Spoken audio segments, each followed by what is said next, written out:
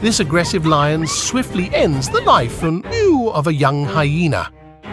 Regrettably, the hyena group witnesses the unfolding tragedy, rendered powerless to alter the cruel course of events.